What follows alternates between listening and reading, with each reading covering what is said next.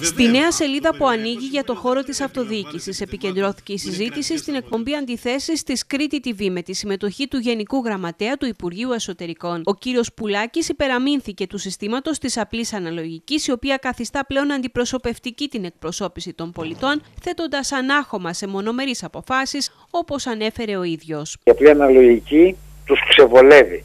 Ξεβολεύει αυτούς οι οποίοι έχουν μάθει να διοικούν χωρίς να συζητάνε, χωρίς να συνθέτουν, χωρίς να έχουν την αντίληψη της δημοκρατίας μέσα τους. Υπάρχει περίπτωση να εκλεγεί δήμαρχος από συνδυασμό που δεν είναι πρώτος και να έχουμε την απαραίτητη, την αναγκαία σύγκληση, συνεργασία, σε αυτό που είπε ο Γενικός Γραμματέας ο κύριος Πουλάκης, την προγραμματική σύγκληση, προκειμένου να υπάρξει διακυβέρνηση στην περιφέρεια ή στο Δήμο. Για τα παράδοξα αλλά και τα ωφέλη του νέου εκλογικού συστήματος διασταύρωσαν τα ξύφη τους οι υποψήφοι περιφερειακοί σύμβουλοι Ζαχαρίας Δοξαστάκης, Γιώργος Ματαλιωτάκης και Μιχάλης Φακιανάκης. Αυτό είναι το μεγάλο στίχημα.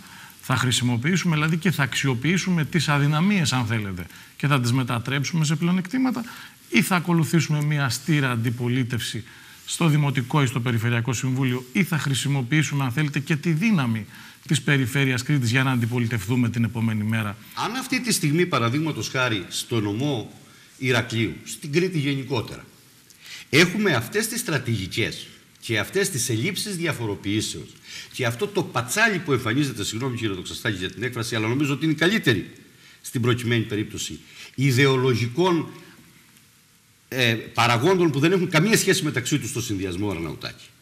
Αν συμβαίνουν αυτά τα πράγματα, Πέστε μου σας παρακαλώ, πού αυτός ο συνδυασμός θα διαφοροποιηθεί από την στενή εκτέλεση της κυβερνητικής πολιτικής όπως είναι σήμερα; Οι έδρες των συνδυασμών κατανέμονται πλέον την πρώτη Κυριακή με βάση την απλή αναλογική που δίνει το δικαίωμα εκπροσώπησης ακόμη και σε παρατάξεις που δεν θα φτάσουν στο πλαφόν. Οι έδρες κάθε περιφερειακού, δημοτικού και τοπικού συμβουλίου καθορίζονται με βάση το μόνιμο πληθυσμό και όχι αυτόν της απογραφής, γεγονός που προκαλεί ανακατατάξεις, ιδίως σε τουριστικούς Δήμους. Σε Δήμους με πληθυσμό άνω των 100.000 κατοίκων, τα τοπικά διαμερίσματα μετατρέπονται σε κοινότητες, ενώ πλέον κάθε πολίτης μπορεί να επιλέξει μία παράταξη ως δημοτική αρχή, αλλά υποψήφιο άλλου συνδυασμού για να τον εκπροσωπήσει στο τοπικό συμβούλιο της περιοχής του.